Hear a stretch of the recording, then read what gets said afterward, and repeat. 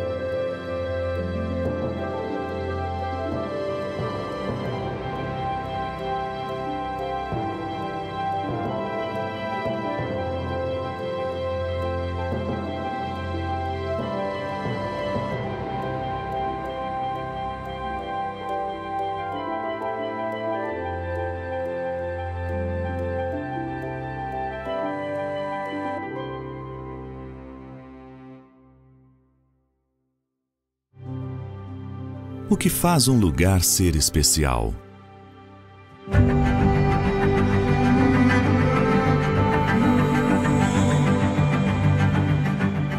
Um lugar onde você se sente em casa, à vontade para aquele passeio com a família ou em companhia daqueles que pra gente é mais que um amigo. Um lugar que antes mesmo do sol nascer, os sorrisos já iluminam as manhãs, anunciando mais um dia que recomeça.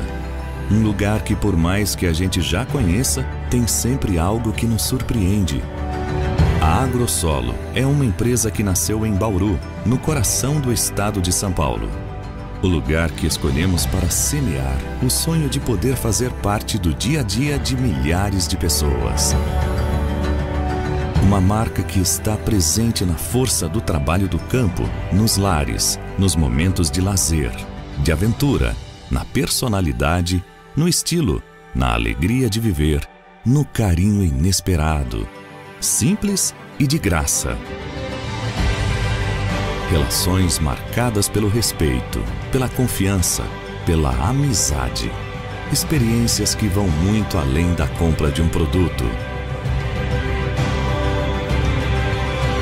Um lugar especial é aquele que nos traz sempre a lembrança de uma boa história para contar que a gente não vê a hora passar, se sente bem e feliz. Um lugar especial só é especial porque pessoas especiais vivem nele. Se não fosse, seria só mais um lugar. Agrosolo. Aqui é o lugar.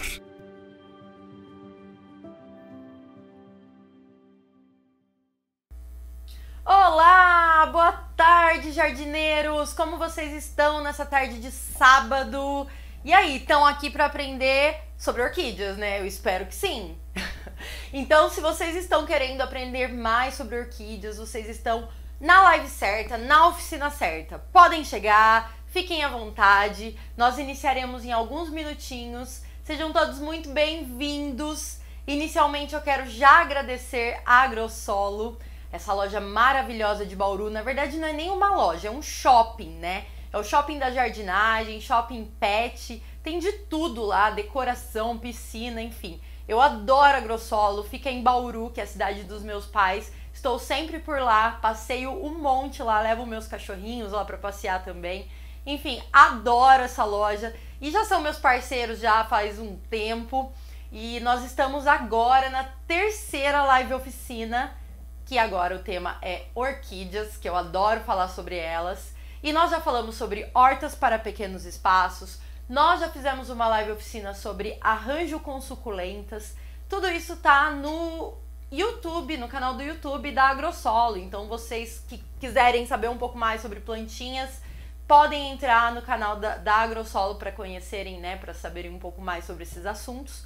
Para quem ainda não me conhece, muito prazer em conhecê-los. O meu nome é Thaís Lemos, eu sou bióloga e também paisagista. E eu já desenvolvo um trabalho com a minha querida Ainá Paisagismo, que é o meu negócio, a minha marca. Eu trabalho com, principalmente com terrários fechados, arranjos abertos com cactos suculentas, coquedamas e também trabalho com projetos paisagísticos, adoro as plantas. As plantinhas são muito, muito importantes para mim. Aprendi a gostar de plantas com a minha avó, que faleceu há, um, há alguns, algumas semanas a minha avó Maria, linda, maravilhosa, que tá num lindo lugar, todo florido, e ela que me ensinou a gostar dessas plantinhas. Então, neste momento, eu venho me reinventando e trabalhando bastante no mundo digital para poder passar esse amor que eu tenho pelas plantinhas para vocês que estão aqui. Então eu quero agradecer muito a todos vocês que estão assistindo essa live oficina. É muito bom tê-los aqui comigo. Muito obrigada por estarem aqui se dedicando no sábado à tarde para aprender mais sobre plantas. É muito bom, espero que vocês gostem do conteúdo que eu preparei. Gente, tem muita coisa para eu falar na live de hoje. Muita coisa mesmo. As orquídeas não são muito difíceis de cuidar, não, viu? Esse mito de que é difícil cuidar de orquídea, florir orquídea, não é verdade, não. É, é não tem muito segredo. Mas existem várias peculiaridades que a gente. É, que envolve esse mundo das orquídeas. Então, eu espero passar tudo de uma forma bem tranquila para vocês. Claro que eu não vou conseguir interagir muito com vocês, até porque a câmera tá longe de mim. Mas eu já separei algumas perguntas que o pessoal fez durante a semana na, no Instagram da Iná. E também tem a galera preparada para responder vocês. Então, se vocês tiverem dúvidas sobre o que eu tô falando, sobre o tema, coloquem aí nos comentários que sempre vai ter alguém olhando para responder vocês e eu também posso respondê-los depois, tá bom? Já deixo o convite para vocês curtirem a página da minha marca, da Iná Paisagismo. Lá eu posto conteúdos praticamente diários sobre plantas, faço vários vídeos respondo os meus seguidores, adoro muito interagir com os meus seguidores e convido vocês também para curtirem a página da Agrosolo, que é onde eles colocam várias informações, dicas para animais, para plantinhas, para jardim, para decoração, enfim. Entrem lá e convido vocês também a conhecerem o site da Agrosolo, que é o www.agrosolo.com.br. Eles fazem vendas online, enviam para o Brasil todo e também eles são muito legais, além de oferecerem essa live oficina gratuita para todos vocês. Eles vão fazer em parceria com a Forte Jardim, essa marca maravilhosa que eu adoro. Vão fazer dois sorteios, pessoal. Tem muito produto maravilhoso. Fiquem até o final que eu vou passar todas as informações para vocês. Então, todo mundo que se inscreveu e está aqui agora vai participar desse sorteio. Todos os inscritos, tá? E aí depois eu passo para vocês certinho como vai ser feito o sorteio, tá bom? Fiquem comigo até o final para vocês saberem como será. Tudo bem? Então vamos lá, vamos começar, né? Já falamos aí por alguns minutos. Vamos começar a falar sobre o que. Opa! Caiu aqui um negocinho, mas não tem problema, tá? Tudo bem.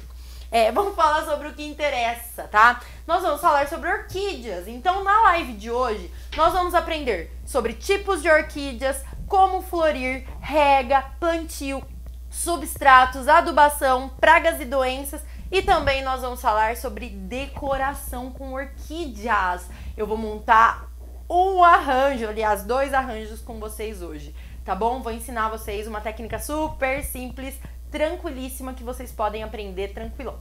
Tudo bem? Então vamos lá, pessoal. Sejam todos muito bem-vindos à nossa live oficina.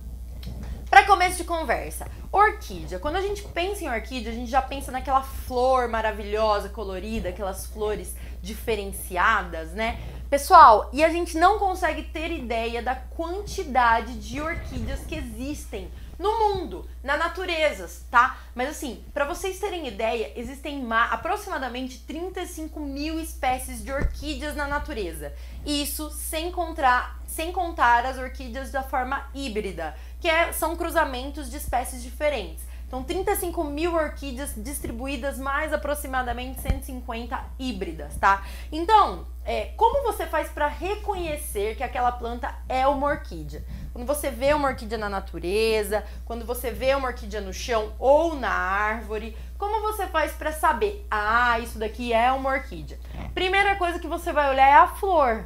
É a flor que vai te dizer se é uma orquídea ou não. Porque a flor da, da orquídea ela é bem característica, tá? A gente consegue ver aqui na olhando de frente, a gente consegue ver aqui na flor, não sei se dá para vocês verem bem, mas depois vocês analisem as orquídeas de vocês, combinado? Você vai ver que existem três pétalas na frente, duas nas laterais e uma na frente que é diferenciada. Essa pétala da frente, ela tem um, um bico assim, ela vai para frente e a gente chama ela de labelo tá? Normalmente ela é mais colorida. Aqui neste caso, ela é um roxo, um roxo mais vivo, tá? É o labelo da nossa orquídea, tá? Então são três pétalas, uma é diferenciada para frente. E atrás da flor da orquídea, você vê mais três pétalas que a gente chama de sépala. Essas sépalas são aquelas que vão fechar o broto. Tem um brotinho aqui, ah, que lindo! são elas que vão envolver o broto. Quando elas abrem essas três sépalas, elas abrem as duas pétalas e o labelo da frente. Então, basicamente, é assim que você vai reconhecer uma orquídea pela sua flor, tá? Então, você vai ver aí essas características. Algumas orquídeas possuem uma estrutura fisiológica que se chama pseudobulbo. Olha só o que é o pseudobulbo essa estrutura gordinha que tem aqui, que é tipo um caule aéreo. Para que, que serve esse pseudobulbo? O pseudobulbo ele serve para armazenar água e nutrientes. Então na natureza, quando falta chuva, né? Porque as orquídeas elas bebem água da chuva. Quando falta chuva, para as orquídeas que têm o pseudobulbo, ela tem um armazenamento ali, então ela vai tirando essa água do pseudobulbo. É mais ou menos a história da suculenta que eu contei para vocês na live oficina de suculentas, que elas armazenam água nas suas folhas, né, nas suas estruturas. Nesse caso, ela armazena no pseudobulbo, mas nem todas as orquídeas têm a, esse tal desse pseudobulbo. Essa daqui é uma denfal, ela tem um pseudobulbo bem grande, de onde saem as suas folhas. Essa daqui, gente, é uma oncidium, também conhecida, popularmente conhecida como chuva de ouro. É maravilhosa. Ela tem pseudobulbo achatado lá dentro, no, na base dela, de onde saem as folhas mais longas, tá? Já essa bonita roxa aqui, que eu mostrei para vocês, ela, também conhecida como orquídea borboleta, Phalaenopsis, tá? É muito famosa, essa daqui tem demais no mercado, floricultura, a gente sempre acha para vender a Phalaenopsis. A Phalaenopsis, ela não tem o pseudobulbo. Pode ver que não tem nada gordinho aqui no meio. As folhas, elas vão saindo, mas não tem nenhuma estrutura gordinha no meio. Então, todas as orquídeas que não têm o pseudobulbo, que não tem essa estrutura mais gordinha de onde saem as folhas, significa que elas precisam de mais água, porque ela não tem armazenamento. Essa daqui é uma mini orquídea que já perdeu suas folhas, também uma pseudo, é, uma, ó, sem pseudobulbo. também não tem pseudobulbo, porque ela é uma mini phalaenopsis, tudo bem? Então, vamos lá. Pessoal, é, além disso, existem vários tipos de orquídeas. Então, você vai ver na natureza, para comprar na floricultura, que existem orquídeas terrestres, tá? Que elas vivem no solo. Existem orquídeas que podem crescer sobre pedras, que são conhecidas como orquídeas rupestres. E existem também as orquídeas mais famosas, que são as epífitas, que elas crescem no tronco das árvores. Todas essas que eu tenho aqui são epífitas, tá? Então, na natureza, elas se desenvolvem no meio das árvores, tá? No tronco das árvores. Por que, que ela tem esse desenvolvimento? Para que ela consiga alcançar uma altura para receber a quantidade de luz que ela precisa e também nesse local ela vai receber os nutrientes que ela precisa. Não confundam com planta parasita. Ela não é uma planta parasita, tudo bem? Ela fica ali e ela vai absorver o nutriente do, do cocôzinho do, do passarinho, do, da poeira que vem, da folha que decompõe, do próprio tronco que está decompondo ali, do musgo. Então ela tira é, esse nutriente daquele espaço pelas suas raízes, tá? E também pelas suas folhas. Então ela vai ter essa interação de forma mais alta. Então o que, que é interessante nós fazermos quando a gente adquire ganha uma orquídea? Representar o meio ambiente, representar a natureza. Então a gente vai tentar fingir que tá colocando ela no meio ambiente, mas na verdade ela vai estar tá na nossa casa embelezando todo o espaço, né? Porque ela chama muita atenção. Então a primeira orquídea que eu vou falar aqui com vocês é a mais famosinha delas, que é a orquídea borboleta, Phalaenopsis, tá? Muito famosinha. Primeira coisa que nós já comentamos, não tem pseudobulbo. Olhou assim na orquídea, viu que não tem pseudobulbo, tem a haste floral, isso daqui é a haste floral, tá? Tem a haste floral bem longa, você já pode perceber que é possivelmente uma uma, uma orquídea borboleta, tudo bem? Então a Phalaenopsis, ela tem a característica de é, ter aí uma... Ela é muito vistosa, tem folhas maiores, ela precisa de mais umidade do que as demais orquídeas, tá? Porque as demais que tem pseudobulbo, tá? Ela pode dar flor até três vezes no ano. Então, assim, é uma regra? Claro que não. Tem pessoas que falam, eu tô com a minha Phalaenopsis já faz um ano e dois meses, um ano e meio e nada de flores. O que está acontecendo? Algo está acontecendo aí. A gente vai falar sobre isso já já, tudo bem? Então, assim, normalmente, se ela estiver bem nutrida, num ambiente legal, tudo certinho, com a luz que ela precisa, recebendo a rega ideal, ela pode florir até três vezes no ano. E tem pessoas que realmente veem flores três até quatro vezes no ano, tá? Desde que ela esteja num ambiente legal. É, normalmente, quando você compra ela, ela vem num vaso transparente. Vocês já perceberam isso? Essa aqui não veio no transparente, mas essa maior veio num vaso transparente. Por que será?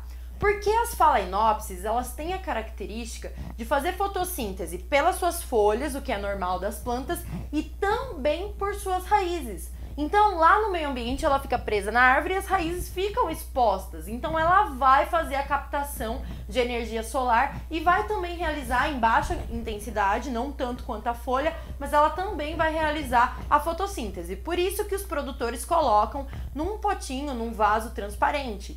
Muitas pessoas gostam de deixar ela no vaso transparente para que ela faça fotossíntese, mas você não precisa deixar ela no vaso transparente. Você pode pôr em outros vasos, que eu vou falar quais são os vasos ideais para ela. Tudo bem? Porque ela vai dar um jeitinho de fazer a fotossíntese dela. Nem que ela tenha que sair um pouquinho para fora, né? Ela vai dar um jeitinho aí.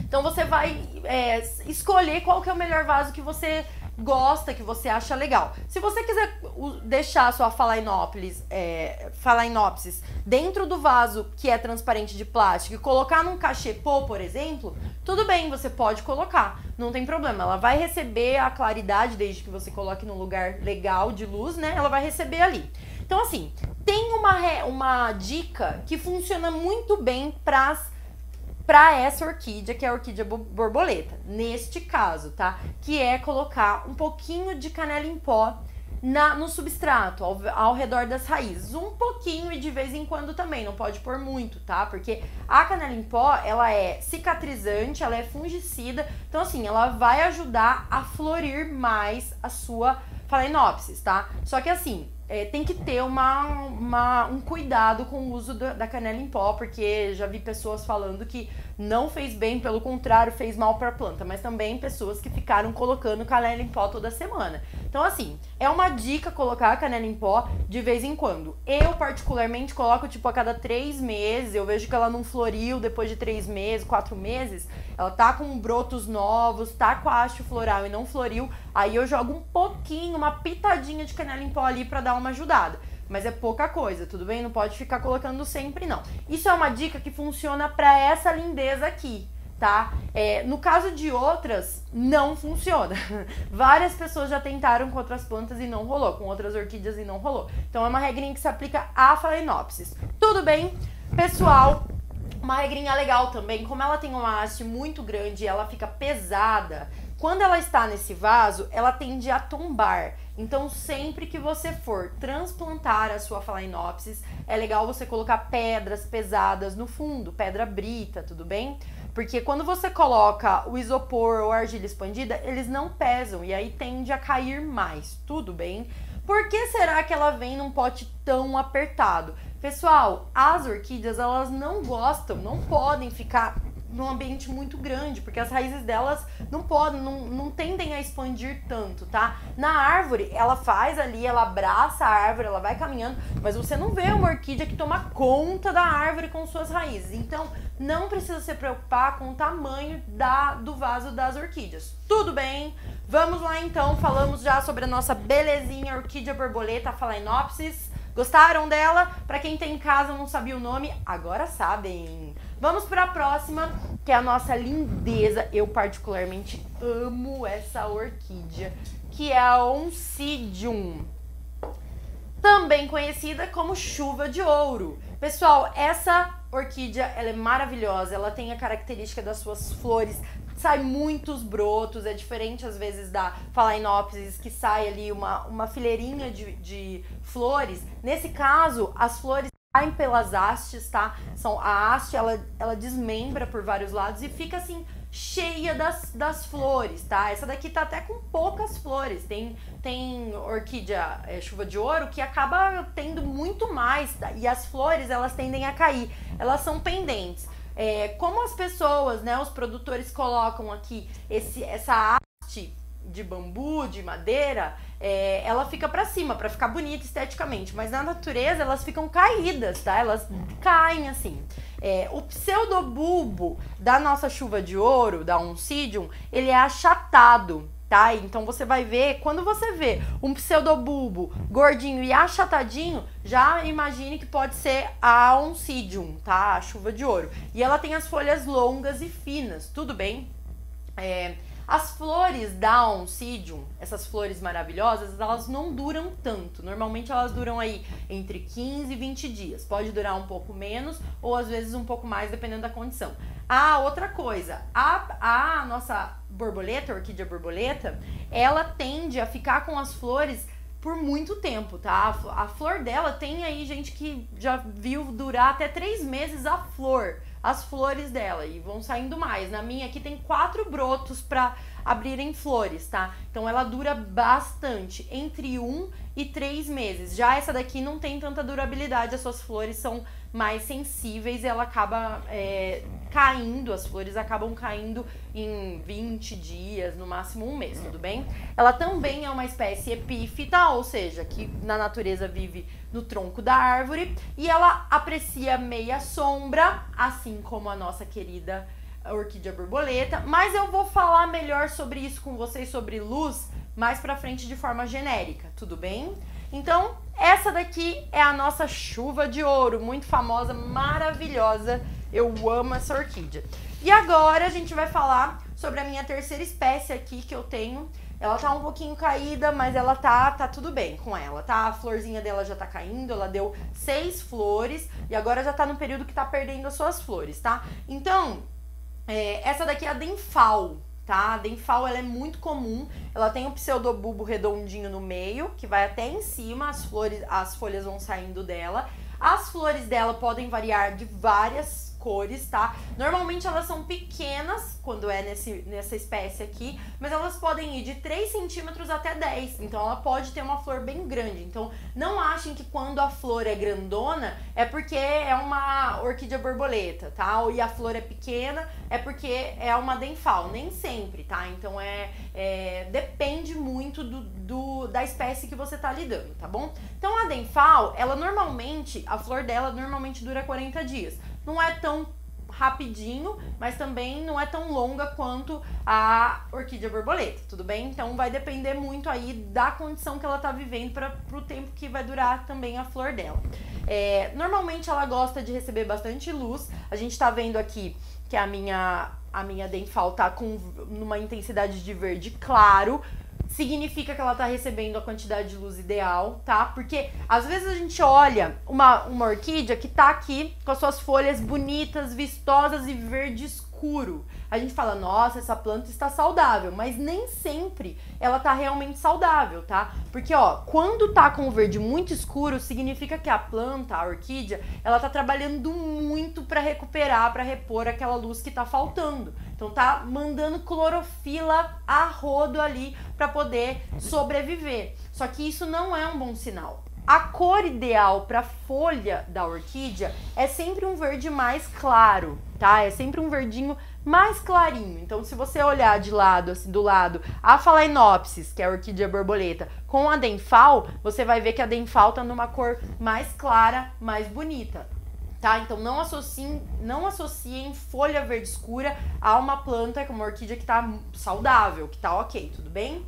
Então, depois eu falo sobre rega, sobre luz, enfim. Vou falar sobre tudo isso das três de uma vez, porque elas são bem parecidas no, no gosto dela. Por que, que eu escolhi as três? Porque são as plantas que normalmente elas estão no supermercado para venda, elas estão na, na floricultura, é muito comum de serem encontradas. Existem uma imensidão de outras espécies à venda e a gente vai falar um pouco sobre algumas, mas assim, eu vou dar a ênfase nelas. Tudo bem? Então vamos lá. Comprei ou ganhei uma orquídea. O que, que eu tenho que fazer neste momento que eu comprei ou ganhei uma orquídea? Primeira coisa que você tem que fazer, traz para sua casa, né? Porque ela já passou por um estresse, gente, gigante. Vocês não têm noção o caminho que ela percorreu para chegar até a sua cidade, para chegar até o supermercado, para chegar até a floricultura, o CEAS, enfim. Ela correu muito, ela foi andou de caminhão, ela enfrentou escuridão, enfrentou sol, enfim, às vezes ela sofreu demais. Então ela tá ali, é, ela, precisa, ela precisa de um pouquinho de paz, tá bom? Então você pega a sua orquídea, coloca ela na sua casa perto de uma janela, tá? Se você mora em apartamento, coloca ela na varanda, na sacada. Se você mora em apartamento que não tem sacada, coloca próximo de uma janela para ela receber um pouquinho de vento. Claro que não aquele vento canalizado que também não é bom para nenhuma planta, mas que tem ali um, um vento para que ela receba claridade, bastante luz mesmo, o máximo de claridade que ela puder, tá? Pessoal, sol é uma coisa que eu vou falar já já com vocês. As orquídeas, elas não gostam de sol pleno, mas também elas não gostam de ambiente sem, totalmente sem luz, tudo bem? Então, assim, ah, eu quero trocar de vaso. Daí eu recebo várias mensagens de pessoas. Ai, que que eu posso, qual substrato que eu posso é, trocar a minha orquídea? Eu preciso trocar a minha orquídea de substrato. Primeira coisa, quando você compra uma orquídea, normalmente você compra ela florida tá? É muito natural que você compre ela florida. É muito raro você comprar uma orquídea sem flores, a não ser que você pegue uma promoção, depois do dia dos namorados que sobrou, aí o mercado vende por nove reais uma Phalaenopsis que custa 40, 30, e aí você, poxa, imperdível, né? Você não sabe a cor da flor, mas vai ser uma surpresa futura para você. Aí você leva ela para casa. Aí beleza, tudo bem. Nesse caso ela já perdeu suas flores. Mas quando ela tá com flor, não é o melhor momento para realizar troca de substrato, porque ela tá sensível, ela gastou muita energia para poder soltar essas flores. Então eu não recomendo que neste momento você troque. Mas se você precisar, como é o caso de hoje que eu vou montar um arranjo, eu vou precisar trocar ali o substrato, eu vou falar para vocês sobre esses cuidados que precisa ter, tá? Então, deixa ela quietinha, coloca ela num ambiente de luz, bastante claridade, vai cuidando dela faz a rega que eu vou ensinar para vocês bonitinha. Normalmente o substrato que vem nela é um substrato legal, tá? Os produtores de orquídeas normalmente colocam o básico, o mínimo que elas precisam é diferente do que você comprar uma suculenta que vem num solo bem, bem duro, compactado, que você tem que trocar porque ela pode até morrer, um solo pobre, sabe? Então é diferente. As orquídeas elas normalmente já vêm num substrato legal, ok, tá? Que vai sobreviver ali. O substrato da orquídea ele pode durar até 4 anos com o mesmo substrato. Tudo bem? Então não é uma coisa que você vai trocar a cada seis meses. É uma coisa que você vai adubar e cuidar e observar também. Tudo bem? Então, primeira coisa, deixar ela quietinha. E outra coisa que me perguntam muito: como eu faço para minha orquídea florescer sempre? Pessoal, é muito é muito complicado isso, porque você ganha a orquídea, ela tá florida, maravilhosa. E aí passa um tempo, né? 30 dias, 20 dias, às vezes menos mais, né? Essas flores, elas caem, elas vão murchando, como é o caso da Denfal aqui, que tá quase perdendo suas flores. As florzinhas já estão caídas porque elas já estavam aqui há 40 dias já que elas estão aqui. Então elas vão caindo, caindo até que murcha. Essa haste floral aqui dela normalmente seca, tá? Às vezes não, às vezes ela continua verdinha. Se ela secar, corta no lugar que ela secou, um pouquinho abaixo do lugar que ela secou. Se ela não secar, continuar verdinha, ela pode dar flor de novo? Pode. Normalmente ela vai soltar uma nova haste para soltar novas flores. Mas ela pode. Acontece muito da haste que deu flores há um, três meses atrás dar flores agora. Então, assim, eu recomendo que não corte haste verde. Tem muitas pessoas que recomendam cortar haste verde porque vai estimular novas hastes. Não, a haste ela vai brotar. Podem ver que essa denfal tem duas hastes saindo aqui do pseudobulbo, tá? Das folhas.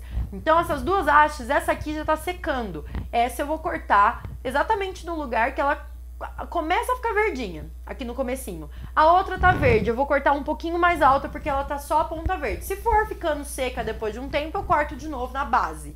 Tudo bem?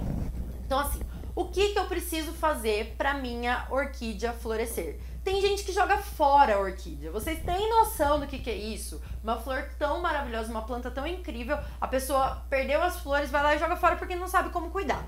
E aí perde a orquídea, perde a oportunidade de ter uma planta em casa que vai dar flores várias vezes no ano, se tudo der certo, claro, que vai trazer surpresas maravilhosas para você, porque cada floração é uma surpresa, tudo bem? Então o que eu recomendo vocês é seguirem os todos os as dicas que eu vou passar a partir de agora, que eu vou falar sobre recipiente, eu vou falar sobre luz ideal, vou falar sobre oscilação de temperatura que é importante para a planta.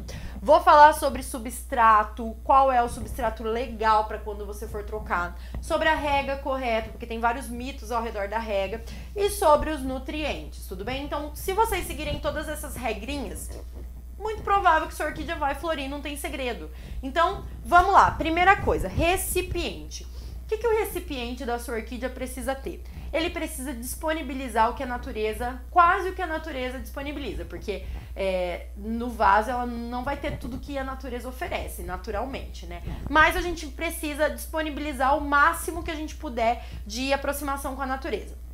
O que eu recomendo para vocês é cerâmica ou plástico tá? Não precisa sempre ser vaso transparente, até porque é difícil de achar. É muito raro a gente achar. Tem um passarinho aqui na minha janela, gente, queria que vocês vissem. Ai, que fofo. Tá aqui me observando cuidar de orquídeas. Vou.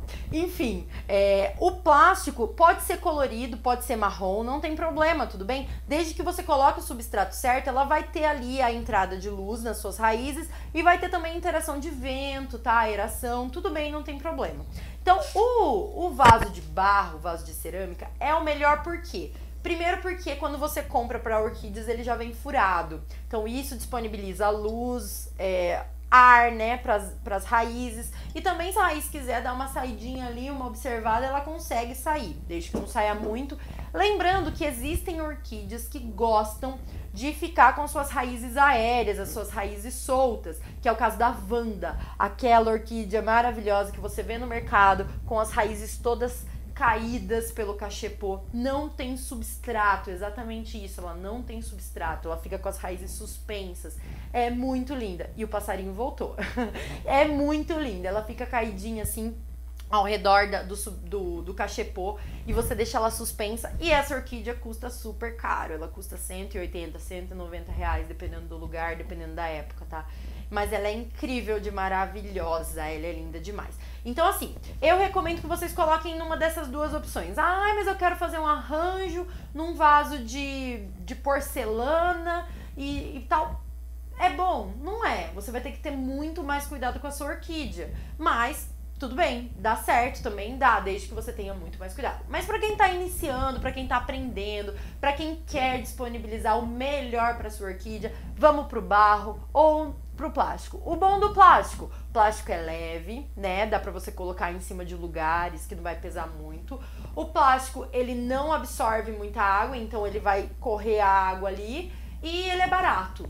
O, os, as vantagens do barro. O barro, ele suga a água, também não deixa ficar aquela água muito parada ali, né? Não, não vai deixar muito úmido, muito molhado aquela, aquele ambiente, porque não pode ficar encharcado. Isso, isso nossa, isso funga, apodrece as raízes das orquídeas.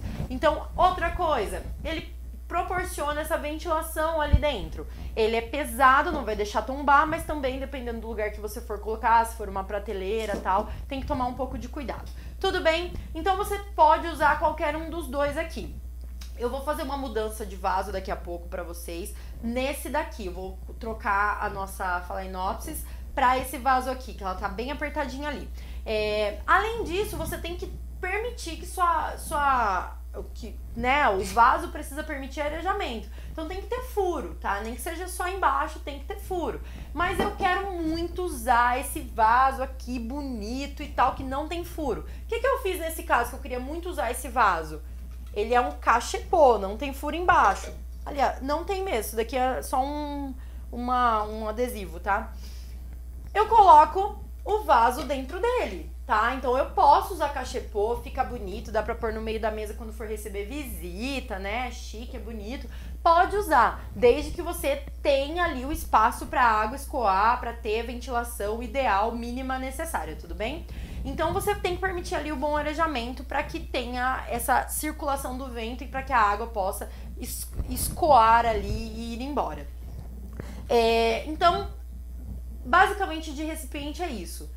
Quando a gente fala de luz, luz é muito importante, iluminação. As orquídeas na natureza, vamos sempre pensar nelas na natureza. Na natureza, elas ficam entre as copas das árvores lá embaixo no tronco. Então, o que, que acontece quando ela tá ali no tronco da árvore? Aqui tá o tronco da árvore, aqui tá a orquídea. Tem que tomar cuidado aqui com o meu microfone, porque senão vocês não me ouvem. Então, o que, que eu tenho que tomar cuidado, pessoal? Com. Só um minutinho. Deixa eu arrumar aqui. Pronto. Então, o que, que eu tenho que tomar cuidado com a minha orquídea é, em relação à luz? Eu tenho que proporcionar para ela o máximo de claridade, tudo que eu puder de claridade para ela. Só que também sem muita luz direta, por quê? Porque no meio das árvores, ali no tronco das árvores, ela não vai receber luz o dia todo. O máximo que ela vai receber é uma luzinha, uma frestinha de luz que vai penetrar ali entre a copa das árvores, as copas das árvores e vai chegar até ela. Então, o que, que eu gosto de fazer com as minhas orquídeas? Eu coloco elas num lugar que bate o sol nascente. É o melhor solzinho para elas. E aí elas tomam duas horinhas de sol, entre 6, 7, 7 e meia da manhã, 8 horas acaba esse sol. Enfim, nasceu o sol, vai até umas 8, 8 e pouquinho no máximo. É o melhor sol para elas. Sol do meio-dia é bom? Não, não é bom ah, mas eu tenho uma orquídea que fica no sol e vai bem. Que legal, você tem uma exceção, porque dentre essas orquídeas epífidas, é, muita gente prefere deixar na luz indireta do que deixar no sol. Então, se for para escolher, é melhor que você deixe num lugar perto da janela que bata luz indireta do que sol o dia todo. As orquídeas, quando elas recebem um pouquinho de luz, uma frestinha de luz, elas tendem a florir mais, tá? A florescer mais vezes é, de forma mais abundante, porque tá aparecendo o ambiente que ela vive. Então, quanto mais parecer o ambiente que ela vive, melhor. Eu já falei para vocês sobre a regrinha das folhas. Se a folha tiver com a cor verde mais clara, cuidado para não confundir com cor amarelada. É verde claro, igual essa denfal aqui. Significa que ela tá tomando a quantidade legal de sol. Se ela tiver muito escura, como é o caso dessa Phalaenopsis, muito, muito verde escuro, um verde bonito, mas escuro demais, significa que tá faltando luz. Essa orquídea aqui, eu comprei ela faz duas semanas, peguei uma promoção dela que sobrou do Dia dos Namorados. Pode ver que essas flores aqui são ainda do Dia dos Namorados, de junho. Então ela tá durando bastante porque dura realmente. Ela tá escura, sim, porque ela estava num supermercado. Então, o supermercado, gente, não entra luz ali. É um ambiente com luz artificial. Entra claridade, mas é pouca. Então, ela começou a ficar mais escura, mas tenho certeza que um dia ela já foi mais clara. E logo, logo ela, ela ficará mais saudável, porque eu vou cuidar bastante dela. Tudo bem, em relação à luz é isso, ambiente com bastante claridade, perto da janela ou na varanda, na sacada, sem que bata luz intensa, luz direta intensa. No máximo duas horinhas de sol, se for tomar sol, que é legal tomar, sol nascente, é o melhor sol para as orquídeas, tudo bem? Se não conseguir, colocar ela numa pérgola, ou então colocar ela num, num sombrite, em algum lugar que ela receba luz quebrada, tá? Luz indireta ou luz de forma que pareça com a copa das árvores ali na onde ela fica. A importância da oscilação da temperatura. Pessoal, como as orquídeas, a maioria delas vieram de, é, de regiões tropicais que tem ali é, disponibilidade de luz e calor, temperaturas né, que vão variar, elas tendem a florir mais quando elas conseguem ter essa oscilação de temperatura que varia entre 7 8 graus entre dia e noite. Calma, falei grego, calma. Pessoal, o que eu tô falando é que a, a orquídea, para ela sentir que ela precisa florescer, ela precisa sentir essa oscilação de temperatura. Noite tá fazendo agora é, 17 graus, 16 graus, e dia chega a 23, 24 graus. O que que tá acontecendo? Tá tendo uma oscilação aí de 8 graus, 7 graus isso é muito bom. Elas adoram essa oscilação. Então, se você quer colocar sua orquídea dentro do seu quarto, que é quentinho à noite, que você faz de uma forma para ficar todo fechadinho, quentinho, às vezes usa até um aquecedor, alguma coisa, não é legal, porque ela sempre vai ter temperatura mais alta, não vai ter oscilação de temperatura e ela não vai florescer. Então, truque para quem quer fazer a orquídea florescer: deixa ela num ambiente que tem oscilação de temperatura, mais alto lá ela também não gosta de muito frio, tá bom? Então, se tiver naquelas noites bem frias, que tá fazendo 10 graus, cuidado, traz ela para dentro de casa, porque dentro de casa vai estar tá um pouquinho mais quente, mas também não vai estar tá muito mais quente. Então, cuida dela. Mas assim, o que eu digo é não deixe ela num ambiente que não cause, que, que deixe o ar artificial, a temperatura artificial. Ela gosta mesmo dessa oscilação natural que a natureza tem. Então vamos tentar deixar a orquídea da forma mais rústica que existe, tá? Vamos deixar ela da forma mais tranquila ali, como se ela estivesse na natureza, que tudo vai dar certo. Quanto mais a gente mexe, interfere, pior fica. Tudo bem? Então, assim, busquem colocar ali no lugar é, da sua casa ou apartamento que fique perto de janela para que ela tenha essa oscilação de temperatura. Se tiver muito frio, você cuida dela. Tudo bem? Então, para quem mora em casa e tem árvore, já sabe o que, que eu vou falar, né? Para quem mora em chácara ou casa, tem árvore na sua casa, no, sua, no seu quintal ou na sua calçada, já sabe, né? Coloca na árvore. Ela vai amar, por favor, ela vai adorar. Ah, mas eu quero ter dentro de casa. Então separa uma, uma mais queridinha para dentro de casa e o resto você deixa tudo na árvore, vai ficar muito linda, ela vai ficar super feliz. Vamos falar um pouquinho sobre substratos. Pessoal, substrato de orquídea é basicamente quando você é, for comprar, eu, recomendo que vocês comprem substrato pronto, escrito substrato para orquídea. Existem várias marcas no mercado, tá?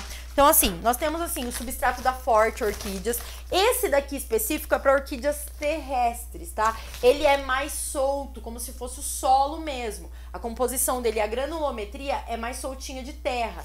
Mas a Forte também tem substrato para orquídeas mesmo, que é or orquídeas epífitas, tá? É muito bom o substrato deles. E hoje eu vou testar uma outra marca, que é a marca Holanda, que eu recebi dos recebidos da Grossolo, também junto com vários produtos da Forte. E aqui na composição deles tem casca de pinos, carvão mineral e macadâmia. Eu tenho um telespectador aqui que tá me assistindo. De novo, vou falar porque tá muito lindo, gente. Aí ele voa e volta. E macadâmia. Normalmente, a composição do substrato para orquídeas é casca de pinos, carvão mineral e fibra de coco. Antigamente usava-se o xaxim, mas o xaxim está em extinção, então não busquem o xaxim mais. Ele é muito bom, mas não é bom, não é bom mais usar porque ele está ameaçadíssimo de extinção. Então a gente substituiu, né? Foi substituído. Então quando você pega o substrato da orquídea, você vai encontrar esses elementos, tá? Você encontra o carvão, que carvão é esse? É o carvão, o carvão que a gente compra pro churrasco mesmo, é ele mesmo. Se você quiser fazer na sua casa, você pode comprar a casca de pinos separada, o carvão você pega, moe, né, corta ele em pedacinhos e coloca, e a fibra de coco, por exemplo. Outra opção de substrato que eu super recomendo para misturar, que é maravilhoso, é o musgo sphagnum. O musgo sphagnum, ele é ótimo, tá? Você compra ele é bem soltinho, faz até sujeira ele é muito bom para as orquídeas. Inclusive, tem produtores que mandam a orquídea direto no musgo esfagno. Eu gosto de fazer uma misturinha, tudo bem? Então você pode fazer o seu substrato. Não tem uma regra específica do tipo, ah, eu quero montar meu substrato. O que, que eu faço? Eu não vou passar para vocês igual eu passo normalmente para suculentas, um terço, um quarto. Não, o que eu vou falar para vocês é vocês misturarem o musgo esfagno, a casca de pinos, é, a fibra de coco se tiver e o carvão. Se não tiver tudo isso, musgo esfagno, casca de pinos, beleza. Fibra de coco, casca de pinos, ótimo. Então faz ali o que você conseguir. Ela vai gostar de qualquer forma. Tem orquídea que vem do. Opa, desculpa, neném. Beijinho. Tem orquídea que vem do produtor que ela vem só na casca de pinos. E tá tudo bem também. Ela vai se virar bem ali. Ela se vira muito bem com o que você disponibiliza. Claro que quanto menos coisa você colocar, menos substrato você colocar ali na sua misturinha, mais você vai ter que caprichar no adubo depois, porque ela vai ter pouca, né, pouca, poucos nutrientes ali, se estiver só na casca de pinos, por exemplo. Tudo bem? Então, assim, é, eu recomendo para vocês o substrato forte jardim é muito bom. Eu vou utilizar esse outro substrato Holanda aqui para ver quão bom ele é, tá? Mas eu vou também usar depois o substrato forte em orquídea terrestre para ver e falar para vocês como é. E aí vocês desenvolvem o substrato de vocês ou então vocês comprem pronto. Eu recomendo que compre pronto, saco. Tem saco de poucos quilos. Esse saco aqui é de quantos quilos? Deixa eu ver. 2 quilos. Ideal para encher dois vasos, né? Dois vasos P12, assim, mais ou menos, né? Então, tem maior também, então, enfim, você é legal você comprar pronto porque já tá ali preparado. Se quiser, você monta o seu. Rega. Como eu vou regar? Quando eu vou regar? Qual a intensidade da rega? Eu já falei para vocês no meu Instagram da Iná, já tô cansada de contar para vocês a história da regra do dedinho. Que que, que que é essa história de regra do dedinho? Gente, é muito fácil.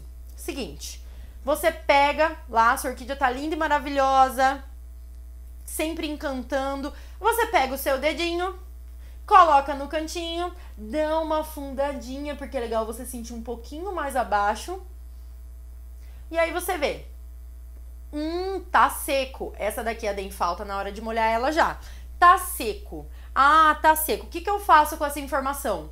Você vai regar. Então é assim, ó. É, existem orquídeas que você não precisa esperar ela estar seca totalmente para você regar, como é o caso da Phalaenopsis. A Phalaenopsis, como eu já disse para vocês, ela não tem o pseudobulbo, que é aquele bulbo do meio aqui que acumula água e nutriente. Então, quando você entrar com o dedo é meio difícil, porque a raiz dela tá tomando conta aqui. Mas depois a gente vai montar um arranjo com ela. Quando você colocar o dedo lá, se você sentir que tá levemente úmido, pouca coisa, não pode estar tá encharcado, tá? Você já pode molhar ela de novo. Qual é a intensidade que vai dar isso? Depende. Se ela tiver num vaso de plástico, por exemplo, que vai acabar armazenando mais água, porque é, ele não suga que nem o barro, você pode molhar aproximadamente duas vezes na semana. Se ela tiver num vaso de barro, por exemplo, que acaba chupando a água, como eu disse para vocês, ou numa árvore também, você pode molhar até três vezes na semana. Mas isso é uma regra que se aplica? Não. Se a umidade do ar estiver altíssima, o substrato depois, é, você molhou, por exemplo, você tá no vaso de plástico. Eu tô falando para você molhar duas vezes na semana. Isso dá tipo a cada três dias, né? Três, dois dias. Aí você molhou hoje, segunda-feira. Aí quando chega quinta, você vai molhar de novo. Aí você vai olhar assim, você coloca o dedo, tá úmido. Tá úmido, você tem uma denfal e ainda tá meio molhadinho. Você vai molhar de novo só porque é a regra, porque eu falei para você que tem que molhar duas vezes na semana? Não, não, não. Pode acontecer de você molhar uma vez na semana sim, se o tempo estiver úmido, se você colocou o dedinho e sentiu. Então, assim, usem a regra do dedinho que não tem segredo. Você não vai matar sua planta nem com muita água, nem com pouca água. Se você observar que o bulbo, pseudobulbo da planta, da orquídea, tá bem enrugadinho, significa que ela está sugando água do pseudobulbo, então está faltando água. Então essas orquídeas que têm o pseudobulbo, elas falam muito. Quando está enrugadinha porque ela está usando essa água de armazenamento ali. Tudo bem? Então conseguindo entender bonitinho? Regra do dedinho. Pessoal, como molhar? Tem várias pessoas que falam: "Eu uso borrifador, eu borrifo na folha. A folha não pode molhar porque apodrece. Eu molho não sei que horário, eu molho não sei que dia, eu molho não sei como". Gente, seguinte, eu vou falar o que eu uso, que funciona com as minhas orquídeas, né? Seguinte, na natureza, as orquídeas elas recebem água da chuva, tá? Então elas recebem ali a chuva. Mas não posso falar para vocês, então vamos reproduzir a água da chuva, vamos pegar um, um jato de, de mangueira e tsh, na nossa orquídea. Também não é assim, porque se você fizer isso, você vai machucar a sua orquídea, vai jogar substrato para os lados, isso não é legal. Então eu não recomendo que vocês façam isso. Mas de vez em quando chove na natureza. Então, Tem problema se eu pegar a minha orquídea de vez em quando, abrir a torneira numa intensidade não muito alta e ir molhando as folhas por baixo, o substrato, deixar aquela água correr de forma lenta, não muito, deixar ela cair, cair, deixar ela escorrer e voltar ela pro lugar? Não tem problema. Inclusive, eu faço isso com as minhas. Eu pego aí uma vez a cada 15 dias, quando tá muito quente, uma vez por semana. Eu dou um banho nas minhas orquídeas, sim. Pode ser de chuveirinho de banheiro, do, do, do chuveiro, ou pode ser da torneira mesmo. Você abre a torneira sem estar tá muito forte, porque aquele jato da torneira não é legal. E aí eu vou molhando as folhas, molho embaixo das folhas, tá? Que é onde elas recebem a chuva, porque no tronco elas ficam deitadas, elas não ficam assim, elas ficam deitadas, então elas recebem ali a água da chuva. Lembrando que o olho da orquídea, que é essa parte aqui, ó, de cima, ela acumula água, tá? Então fiquem ligados na hora que você molhar as folhas de escorrer essa água que fica no olho da orquídea para não ficar acumulado, senão vai apodrecer mesmo, tá bom? Mas no dia a dia, qual a melhor forma de você regar? Se você tem um vaso de barro, você pode mergulhar o seu vaso num pote de água, tá? Você deixa ela mergulhada lá, vai umedecer bem, vai pegar umidade. Eu não recomendo que você faça isso toda vez. Basicamente, no dia a dia, no cotidiano, você pega o seu borrifador e aí você vai molhando o substrato, pode molhar. Se quiser dar uma molhadinha embaixo das folhas. Se você for molhar as folhas, tomem cuidado com o horário que você vai molhar. Não pode regar as folhas no período mais seco do dia, que isso pode queimar as folhas da sua orquídea. Eu amo regar plantas de manhã, mas bem manhãzinha mesmo. No dia de regar planta é o dia que você acorda com as galinhas. E aí você rega. Se você regar ali a, a sua orquídea no período que tá Amanhecendo o dia é perfeito. Agora, ah, Thaís, dá licença, né? Eu não vou acordar tão cedo. Tudo, ó, escorrer um pouquinho de água. Vou colocar ela aqui no canto pra ela escorrer aqui no canto, pra não sujar muito aqui, né? Porque bagunça é meu sobrenome, né? Eu faço sempre bagunça, vocês estão acostumados já. Então, assim, é, sempre tomar cuidado com essa questão da água, porque também você não pode molhar demais e tal. Então, busque molhar, regar as suas plantas no período da manhã. Ai, não dá, não posso tal. Então tomem cuidado, não molhem a folha da raiz no período mais quente do dia, porque isso pode queimar, o calor pode queimar com a água ali a folha. Tudo bem? Então, pessoal, basicamente a regra é isso. E agora vamos falar um pouquinho de adubação. Pessoal, no meio ambiente, qual é o tipo de adubo que a planta recebe? Ela recebe os detritos orgânicos ali dos, das aves que ficam acumulados no cantinho do tronco. Então, caiu o cocozinho, as fezes das aves, ela adora. Então, já tô dando dica aí sobre esterco, esterco de aves, né? Porque elas adoram ali o cocozinho das as fezes dos, dos pássaros. Além disso, ela vai é, comer né, se alimentar, pegar os nutrientes da casca da árvore que entra em decomposição, do musgo que fica ali no cantinho, das folhas secas que vão colar, enfim, tudo que vai umedecendo com a chuva e vai se decompondo, ela vai se alimentando. Então a gente tem que disponibilizar para a planta é, nutrientes que eu já falei aqui com vocês, NPK. O que, que é o famoso NPK? Nitrogênio, fósforo e potássio são macronutrientes que as plantas precisam em maior quantidade, em maior intensidade. Porém, existem os micronutrientes também. Muitos micronutrientes, já já eu falo para vocês sobre eles, tá? Que é um conjunto ali que a planta precisa. Inclusive, tem pessoas que molham as suas plantas com água mineral. Não só água filtrada, mas água mineral, tá? A água da garrafinha e do galão. Por quê? Porque tem minerais e elas adoram. Então, se você puder de vez em quando comprar uma garrafinha, se você tem na sua casa o, o, o filtro comum de carvão ativado que não tem minerais, compra uma garrafinha, uma garrafa maior de água mineral e de vez em quando borrifa ali nas suas orquídeas, elas vão adorar. Vai ser como se você compra um Kinder Ovo para uma criança de vez em quando. A criança adora. então, vamos de vez em quando agradar a nossa orquídea também, né? Além disso, adubo. Eu sou a favor da adubação orgânica, mas de vez em quando eu também uso adubos químicos, eu não tenho problema com isso, desde que seja pra planta que tá ali contida dentro do vasinho, né? Não é algo que eu vou me alimentar e também não vai fazer mal pra mim e nem pra planta, porque a planta adora. Então eu vou falar um pouquinho sobre adubação orgânica e química. A adubação orgânica, ela basicamente é aquilo que vem da natureza é usado no cultivo orgânico. O bocashi é uma famosíssima, não sei se vocês já conhecem, mas se não conhecem, conheçam, a Agrosolo vende. Bocashi é um, um fertilizante um adubo orgânico, que ele é obtido a partir da fermentação extremamente controlada de vários materia materiais de origem animal e também vegetal, e também tem micro-organismos benéficos para a planta. Ele é maravilhoso, tá? Tem várias marcas disponíveis no mercado. Prestem atenção na marca, tem, porque tem marca que a orquídea não gosta tanto, tá? Não vou falar sobre marcas aqui, porque existem várias e depois, se vocês quiserem mais dicas sobre bocache, falem comigo. Eu também não sou uma expert em bocache, eu tô usando há pouco tempo, mas já estou adorando, já estou vendo super, não só para orquídea, mas para todas as plantas. Esse, esse adubo orgânico é, ó, muito bom. Bom, mas se você não tem o bocache, você tem outras disponibilidade de outras coisas, você pode também é, disponibilizar para sua planta adubos, outros adubos, como por exemplo, esterco de aves, como eu falei, farinha de ossos, cinzas de, de madeira, enfim. Você pode fazer uma misturinha. Então, pessoal, eu vou ensinar vocês uma, um truque da Carol Costa, que eu sou super fã, adoro é, das minhas plantas, ela criou uma trouxinha. Então ela pega ali um pedaço de TNT e aí lá dentro ela coloca uma misturinha de ou coloca o bocache, tá? Já pronto, é em pó, você coloca aqui, ou então você faz uma misturinha. O que, que eu recomendo para vocês de misturinha de adubação orgânica de pó para colocar dentro desse dessa trouxinha para colocar na planta, assim, molhar ele. É, você pode bater casca de ovos no liquidificador, vai virar um pó, assim, bem, bem moidinho, porque ele vai disponibilizar nutrientes, tá? Principalmente o cálcio. Você pode colocar a farinha de ossos que você compra na Grossolo Vende, vende inclusive pela internet no site, é muito bom.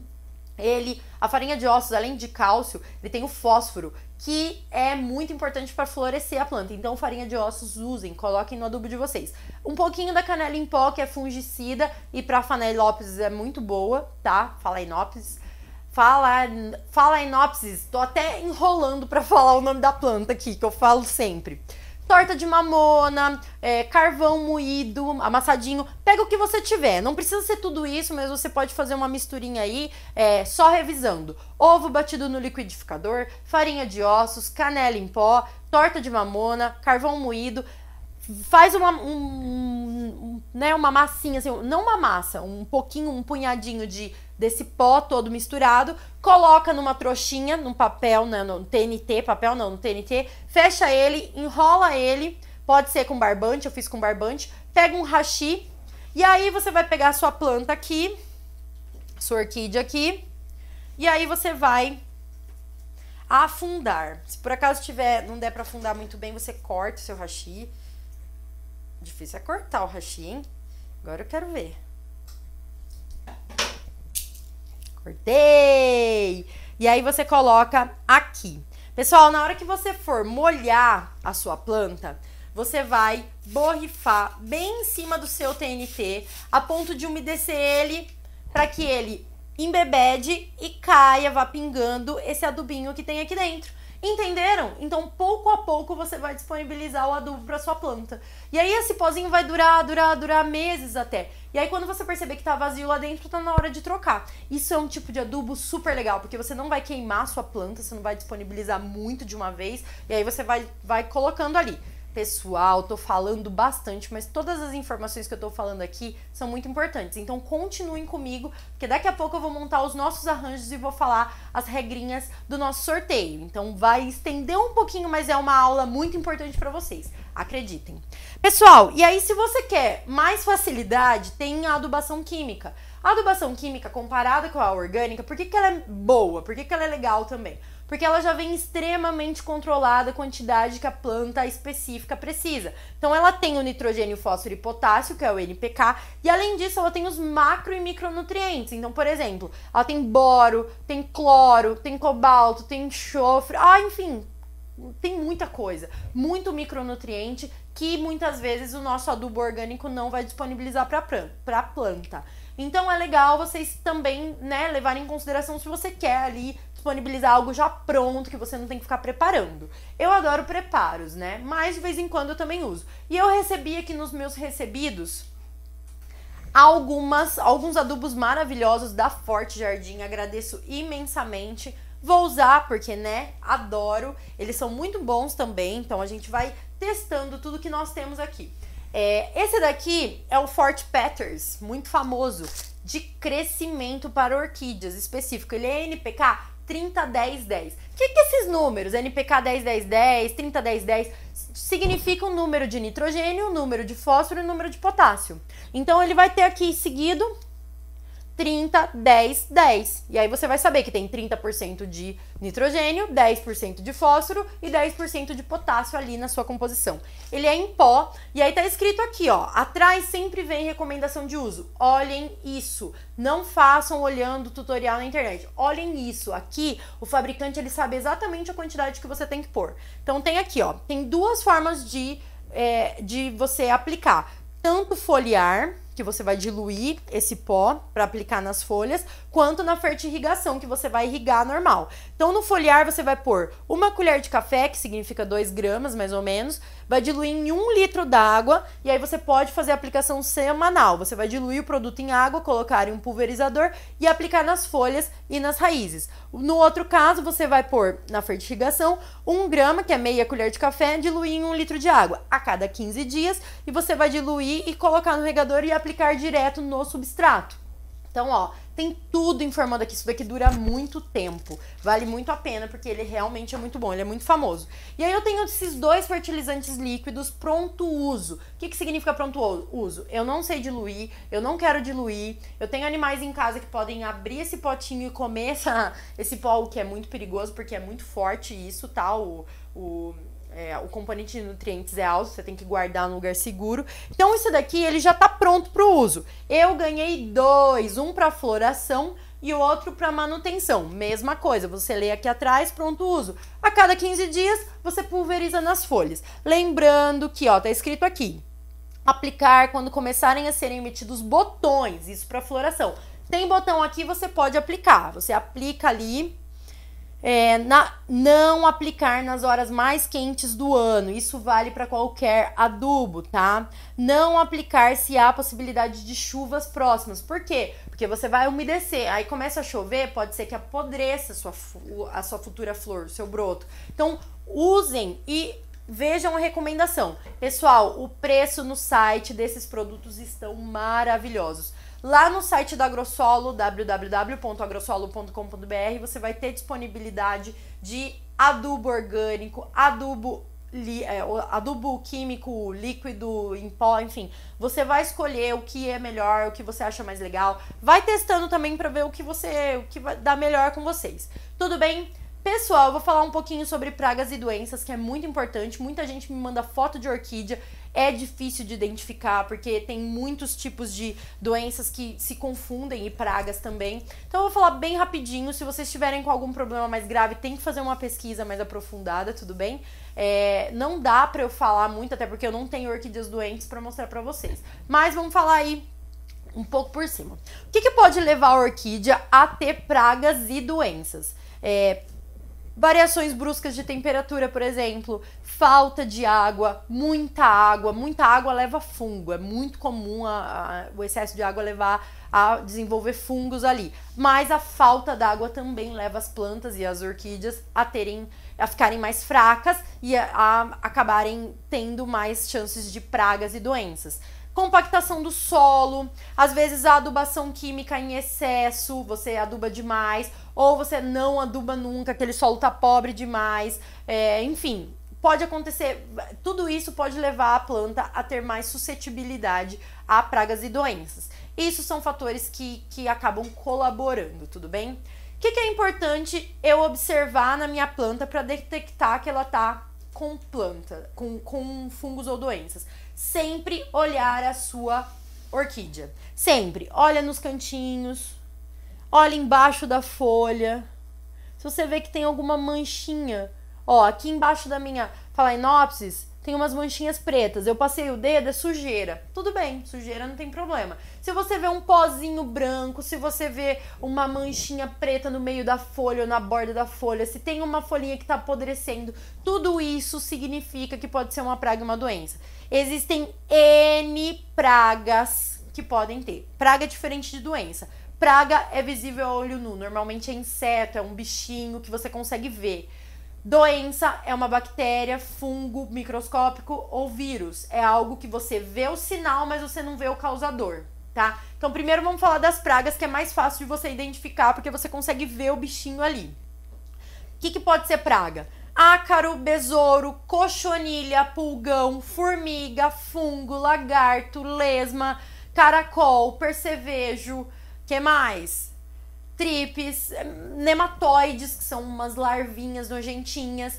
Tudo isso pode atacar a sua orquídea. Calma, não fiquem desesperados. É, a orquídea ela vai ser atacada se tiver com as condições que eu acabei de falar, se ela não tiver bem cuidada, se ela não tiver muito legal. Se ela tiver bem, tomando a água que ela precisa, com os nutrientes que ela precisa, no ambiente com a claridade que ela precisa, muito dificilmente ela vai desenvolver esses tipos de praga, tá bom? Pode desenvolver. Calma que também se você tá cuidando direitinho e teve, a culpa não é sua só. Às vezes vem um conveniente de um, uma cochonilha ali e gruda. Então, por exemplo, a cochonilha é muito comum. O que é a cochonilha? É um bichinho que normalmente ele é branquinho, forma ali uma cera, tipo um algodãozinho. Pode ser de carapaça, então às vezes ele fica com uma cápsula ao redor dele, ou não, pode ser um bichinho que vai andando assim, é terrível. E eles ficam ali agrupadinhos no cantinho, nas bainhas, tá? No cantinho aqui da folha, do começo da folha. Normalmente ele fica desse jeito.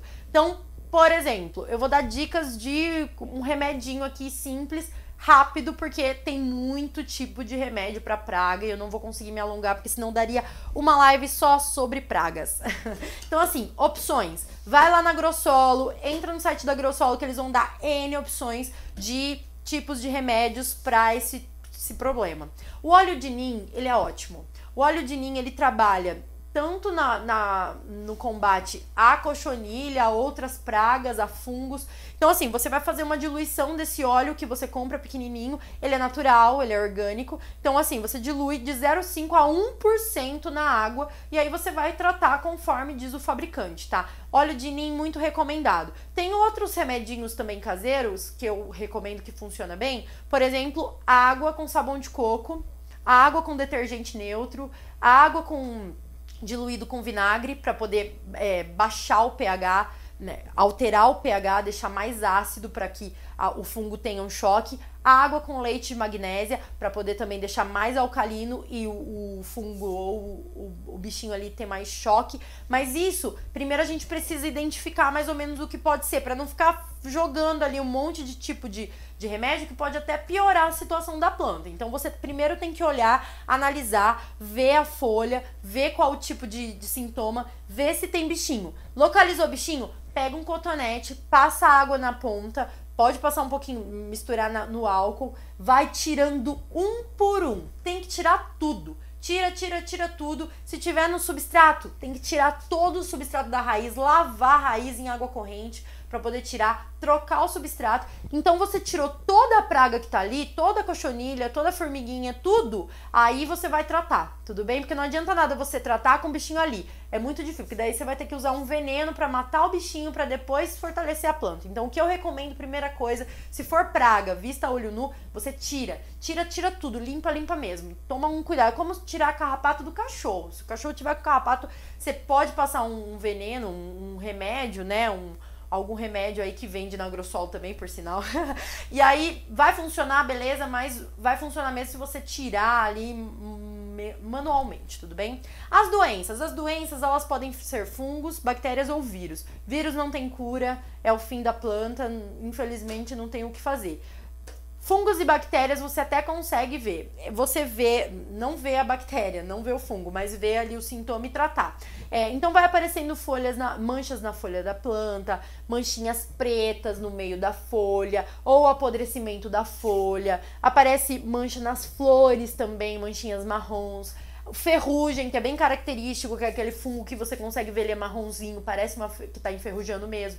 O mofo. Então tudo isso são tipos de doenças que podem afetar o seu, a sua planta. Que, que você pode fazer? No início, você pode usar, por exemplo, chá de cavalinha, que é uma planta fininha que você pode comprar até. É uma planta medicinal muito boa, tá? Ela é fungicida, ela é bactericida. E você pode fazer um chá dela. Você faz o chá dela, coloca na água, ferve, coa, e aí você deixa esfriar, e aí você vai borrifar na sua planta, buscando eliminar. Isso no começo. Outra coisa também é fazer aquele choque de pH que eu falei para vocês, misturando um litro de leite, um litro de água para uma colher de leite de magnésia ou de vinagre, borrifa ali. Isso tudo no começo, apareceu uma manchinha, você já começa a fazer de 15 em 15 dias para poder ver um resultado. Agora, se já passou em um período, você vai ter que buscar alternativas de, é, de fungicidas, de inseticidas mais é, fortes que pode vir a funcionar. Eu uso de vez em quando, já usei, né? Não tenho muito problema com praga nem doença, mas já usei o Azact CE, que é um tipo de de inseticida e fungicida, que funciona muito bem, tá? Ele tem baixíssima toxicidade, inclusive ele é, é, utilizado muitas vezes na agricultura orgânica, então eu sou super a favor. Se vocês quiserem mais informações, falem comigo pelo Instagram da Iná, porque eu não tenho muito tempo para falar sobre as pragas e as doenças. Basicamente, o que, que você tem que fazer para prevenir esses probleminhas? Faça todas as regrinhas, não abandone sua orquídea, não deixa ela muito úmida nem muito seca, não deixa ela num ambiente muito escuro nem muito com muita luz direta e faça a limpeza das suas plantas tá? Então sempre tira a folha seca, porque a folha seca pode servir de abrigo para fungo, por exemplo, e bactéria. Tira a haste que tá seca. Então faz limpeza, limpa mesmo, limpa o cantinho da folha de vez em quando. Isso tudo é muito importante. E troca o substrato de vez em quando dura até 4 anos, mas pode vir a começar a se decompor com menos de 4 anos. Observa o substrato, ele tá com cheiro ruim,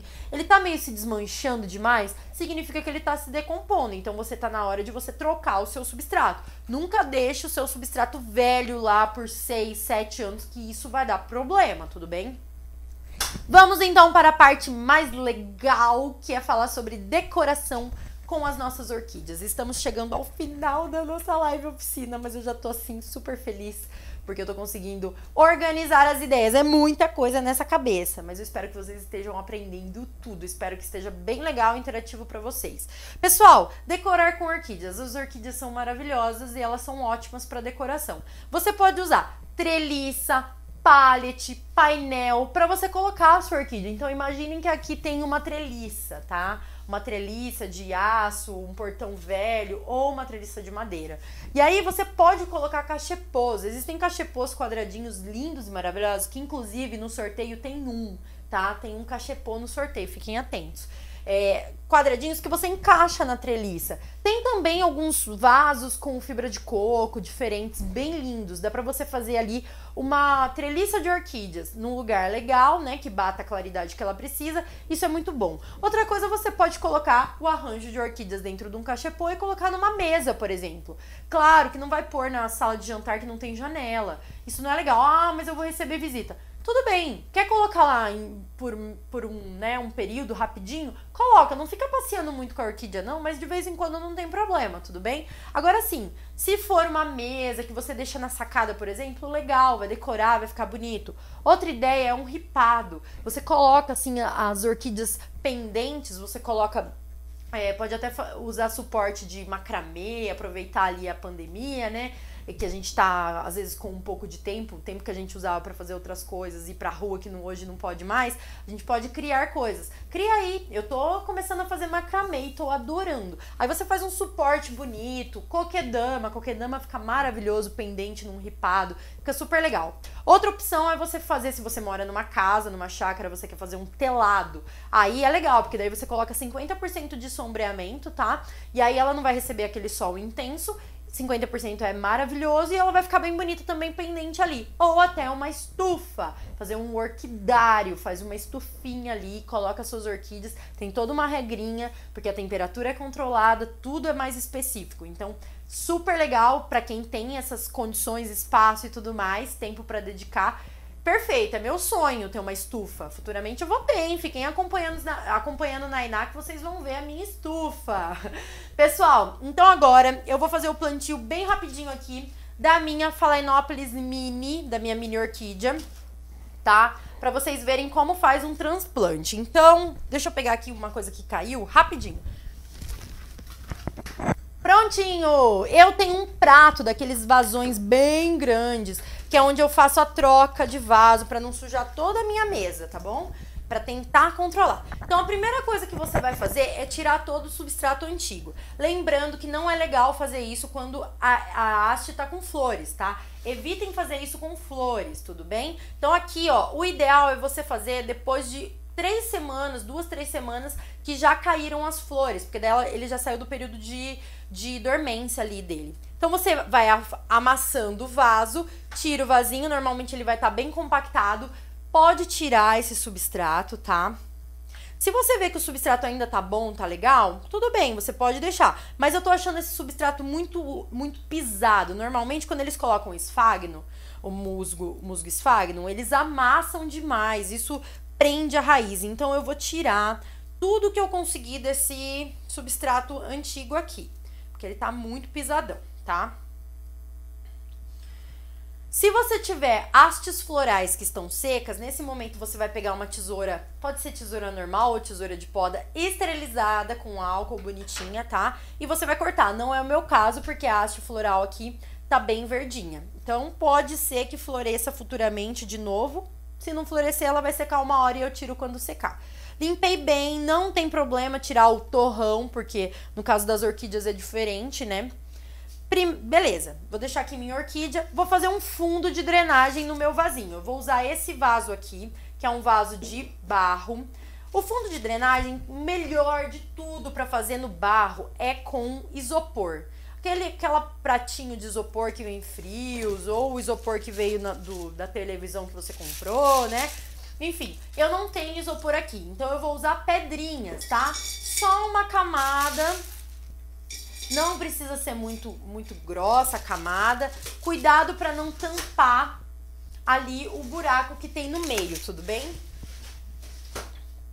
Aí depois que você faz a camada é, ali embaixo, você vai pegar um musgo esfagno novo e vai colocar um pouquinho no fundo para fazer uma caminha. Pessoal, o musgo é legal você molhar ele, tá? Deixa ele de molho ali uns minutos e aí você dá uma enxugada, né? Aperta bem ele para escorrer a água. Só que você não pode pôr esse musgo do jeito que tava aqui, que o produtor mandou para mim todo amassado, tá? Você vai deixar ele bem soltinho. Então você faz ali uma camadinha, um pouquinho, e aí você pega mais um pouquinho bem soltinho e coloca no meio das raízes. Isso é muito legal para as raízes se fixarem. Elas gostam desse musgo esfagno, tá? Aí você vai colocar um pouquinho de substrato, tá aqui do meu lado, bem pouquinho embaixo, coloca a sua, a sua orquídea e vai preenchendo com mais substratos ao redor. Olha a sujeira. Vai preenchendo. Aí você vai virando aqui, coloca na lateral. Aquele substrato pronto que você comprou para orquídea ou que você fez. Pessoal, não é legal você colocar a sua orquídea num vaso muito maior que ela é. Então aqui eu peguei um vasinho pequeno para colocar mini. Não posso colocar no maior que esse, tá? Senão vai ficar desproporcional, nem vai ser legal. Então você vai preenchendo até em cima. Viu que deu uma, né, cobriu as raízes. Sempre tem uma raiz mais alta, acontece.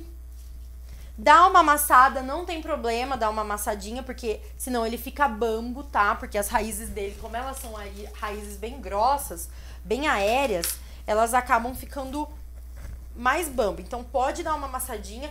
Viu que tá firmezinho? Tá pronto o seu arranjo.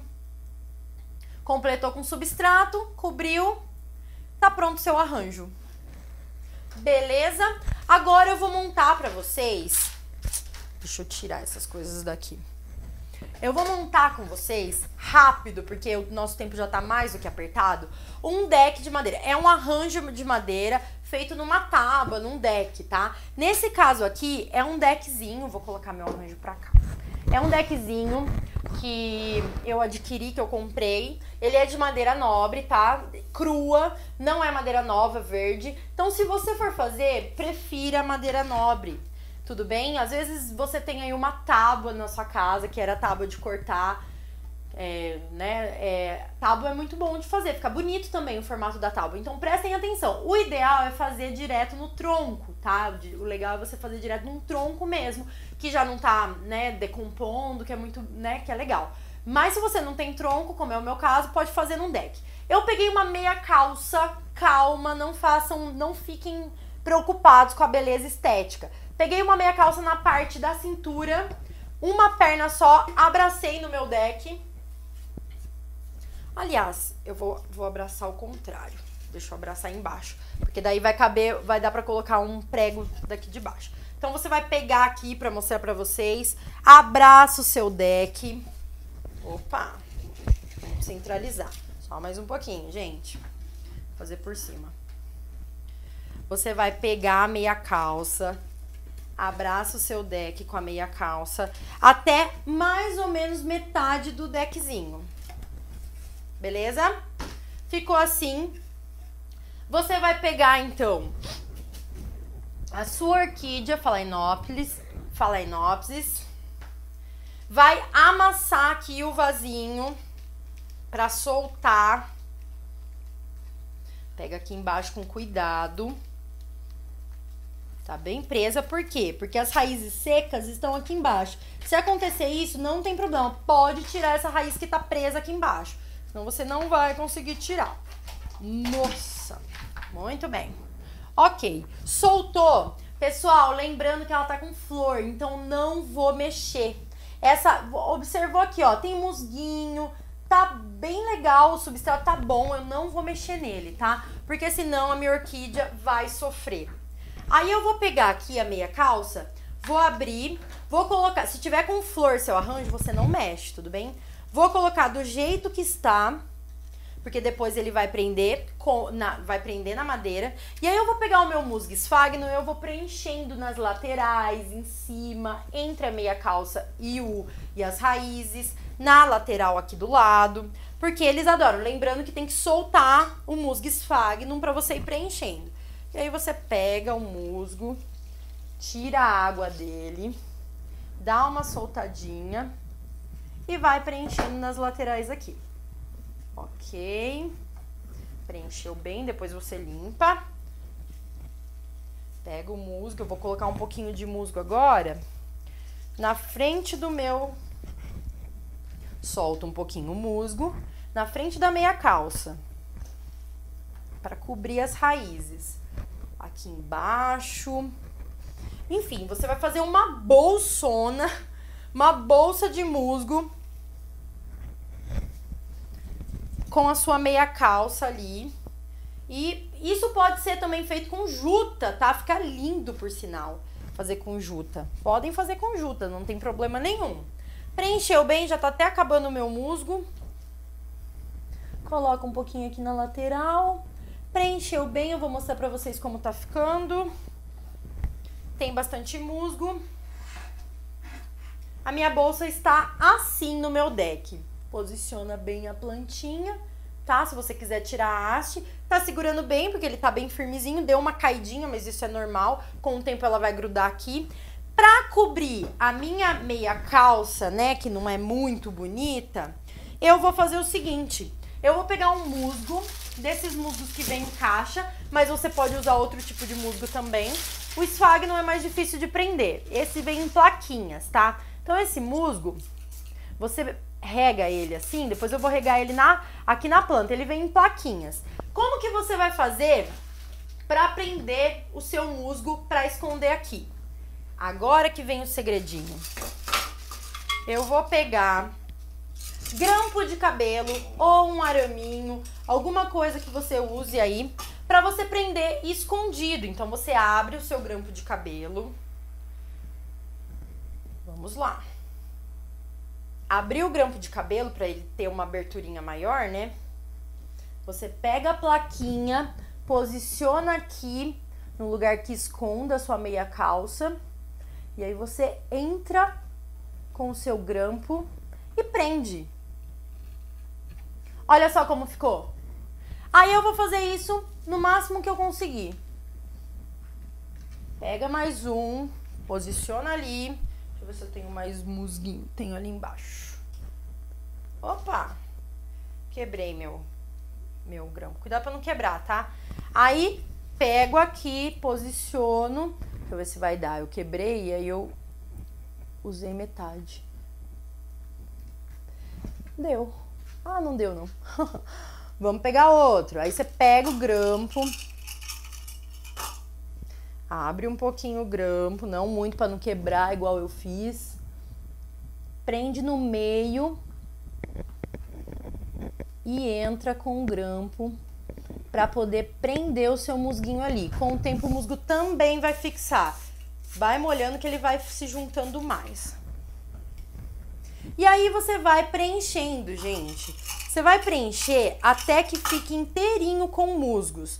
Pode usar outra planta? Pode. Você pode usar qualquer planta que você consiga prender, que ela esteja em plaquinha e desde que ela sobreviva. Esse musgo ele vai sobreviver porque você vai borrifar sempre ele, né? Junto com a orquídea. Então você vai preenchendo aqui a sua o seu arranjo. Abre aqui o musgo, entra com a, o grampo preencheu. Aqui deu uma caidinha porque o grampo não tá entrando bem. Então você precisa ver isso. Ó, prende aqui. Vamos lá. Vamos lá que dá. Aí, agora foi. Pessoal, você vai preencher ele inteirinho para que ele fique todo verdinho. Deixa eu mostrar para vocês como vai ficar mais ou menos. Olhem só, estão gostando do resultado? Aí você vai colocando mais grampo, né, para ele ficar bem preenchidinho. E aí no final você vai ter um arranjo da orquídea, você posiciona bem aqui a sua. Se você quiser fazer uma prensinha da orquídea atrás com a haste, que já tá com uma haste aqui, você prende, consegue colocar um preguinho aqui atrás e passar um fio, tá? Pode ser um araminho, alguma coisa que não machuque a haste da planta. E aí você termina de preencher e você vai ter um arranjo para você colocar na parede. O que, que vocês acharam? Gostaram? Não terminei ainda, tá? Porque ele é meio demorado de ser feito.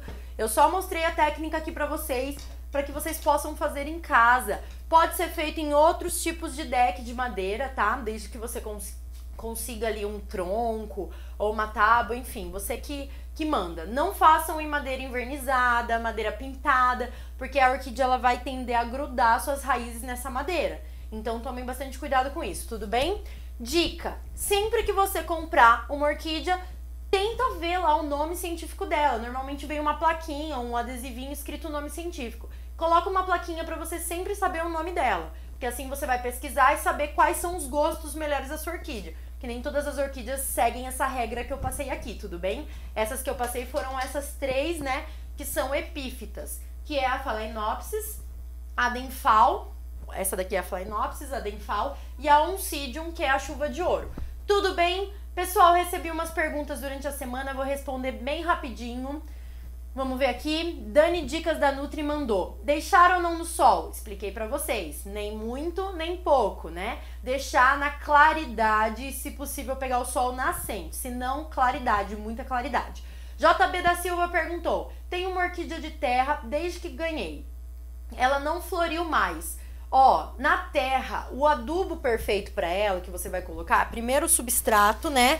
A Forte tem esse substrato aqui para orquídeas terrestres, que é muito bom, mas basicamente você vai usar humus, esterco, porque ela tá na terra, ela gosta desses componentes, NPK 10 10 10, se você quiser adubar com NPK químico, e bastante água. Normalmente elas gostam de bastante água. Verifica a espécie que você tem para você conhecer um pouco mais sobre ela, tá bom? A Liliane Oliveira Bio, a Simone DCM, a Roremor perguntaram algo sobre floração, o que fazer para florir, por que ela não floresce. Expliquei para vocês, né, o que, que pode fazer, todas as regrinhas que você pode seguir para florescer. É só seguir essas dicas que possivelmente a sua orquídea vai voltar a florescer, tudo bem? A Norma da Silva perguntou: Norma F. Silva. Algumas orquídeas estão sem vidas, folhas feias, sem novos brotos e uma delas está com apenas uma folha. Essa de uma folha que floresce direto. Olha só que coisa doida. É assim mesmo, gente. No mundo das plantas, muitas vezes você tem uma feinha ali que sempre vai florescer.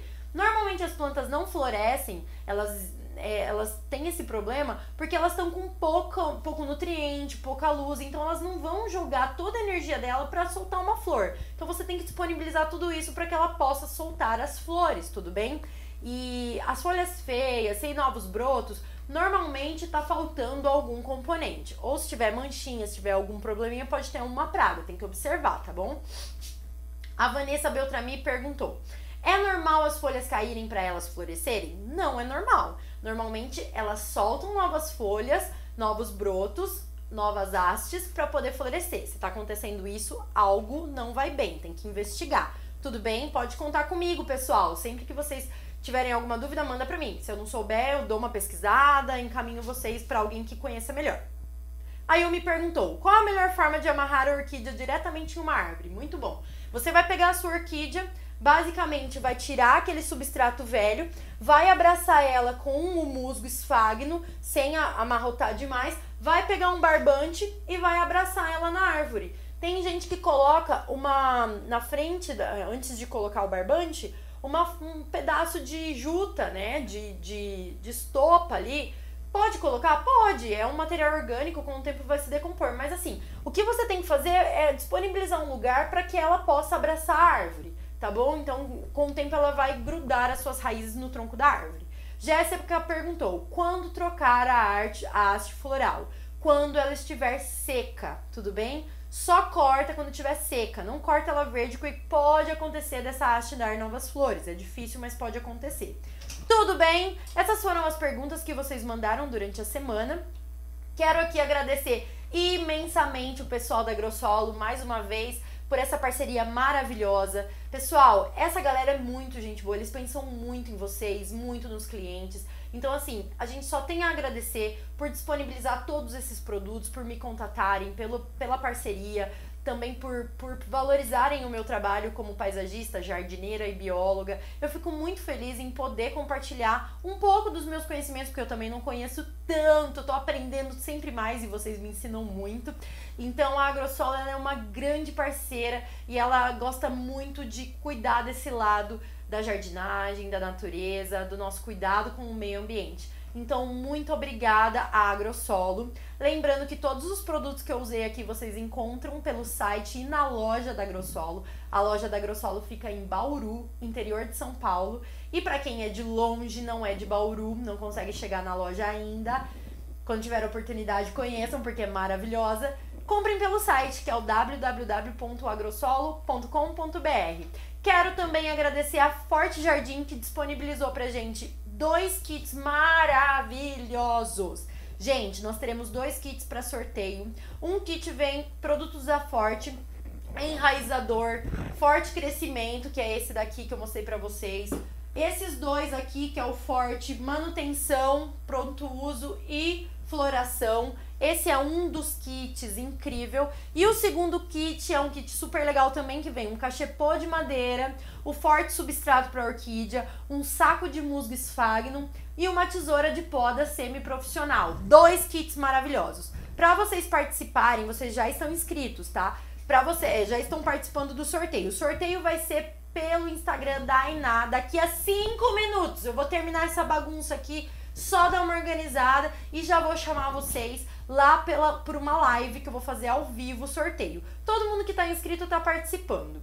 É, se por acaso a pessoa não estiver ao vivo, a AgroSolo vai entrar em contato com a pessoa para poder combinar a entrega. Tudo bem? Então eu espero vocês na live que vai rolar daqui 5 minutinhos, 10 minutinhos no máximo, lá no Instagram da Iná, arroba Ainá Paisagismo. Corre lá no Instagram, entra lá pra ver minha cara só mais um pouquinho, dessa vez mais de perto tá bom? E aí eu vou mostrar pra vocês. É, eu vou fazer o sorteio pelo sorteador no computador. Vou pegar a lista de todos os inscritos e aí a gente faz o sorteio ao vivo para vocês verem. Vai ficar gravadinho lá no Instagram da Iná para vocês poderem acompanhar. Tudo bem, pessoal? Muito obrigada a todos vocês que chegaram até aqui. Uau! Uma hora e meia de live oficina muitos aprendizados. Eu espero que vocês tenham gostado. É muito bom estar aqui com vocês. Eu desejo para vocês tudo de bom, muita luz, muita paz, muita saúde neste momento e que você floresça onde você estiver sempre. E conte comigo para as demais dicas, né? Para as, as demais dúvidas. Eu estou sempre disponível no Instagram da Iná arroba Ainá Paisagismo. E se você quer adquirir todos os produtos que eu uso, entra no Instagram da Agrosolo, entra no site da Agrosolo, que é o arroba Agrosolo. Então essa parceria deu super certo, eu espero que a gente continue fazendo essas parcerias. Comenta, fala o que você achou, espero que você tenha gostado. Deixa aí seu like, segue aqui o YouTube da Agrosolo e a gente vai se ver mais vezes. Tudo de bom para vocês, mãos à terra! Tchau, tchau!